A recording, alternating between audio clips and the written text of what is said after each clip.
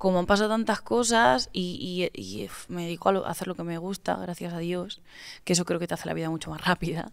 ¿Sabes? No, Ya, es- que se te pase todo así. Claro que digo como, joder, es que no, no tengo una vida entre comillas normal porque para mí los sábados y domingos siguen siendo lunes, pero por otro lado digo, hostia, que me lo paso. Claro. También mm, te digo, en el docu cuento que mm, ahora lo pinto todo flower power, pero que he tenido días y momentos, en- sobre todo en la adaptación a mi, a mi nueva vida, de decir, hostia, ¿qué ha pasado aquí? ¿Sabes? ¿No? ¿Cómo gestionar a todo esto? ¿Cómo gestionar la opinión de todo el mundo? Que es que gestionar la opinión, es que además ahora vivimos, bueno, y más después de la pandemia yo lo he sentido mucho más.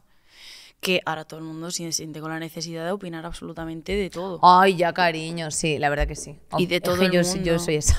No, no, no, no, pero que entiendo lo que quieres decir, que va todo a una velocidad Pero, coño, en la que tienes que estar como al loro de todo y también creo que hay una parte en la que además a los artistas se os exige, se os exige un posicionamiento respecto de muchas cosas todo el rato y es como en plan de cariño, a mí déjame cantar y bailar, que es lo mío. Y ojo, yo me posiciono, ¿eh? que yo hablo de un montón de cosas y me da igual. Por lo menos de las que me... Pero hablo de las que me tocan, no te pueden tocar todos los temas, cariño. Hombre, claro.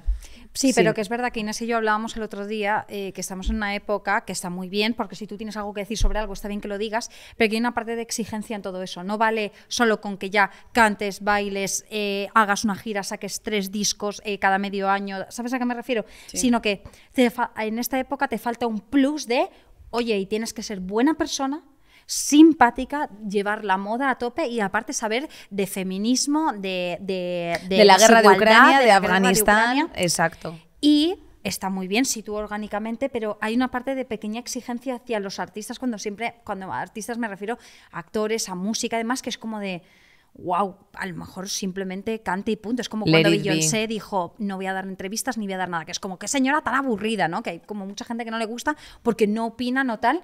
Perdona, Beyoncé se sube al Coachella y te meas encima, literalmente te haces pipí, se te sale por el pantalón, entonces cállate. Joder, Andrea, qué descriptivo, hija. Es que es, es así como siento a Sí, pero Beyoncé. coño, que todo el mundo no se le tiene que dar bien absolutamente todo, no tenemos que ser comunicadores.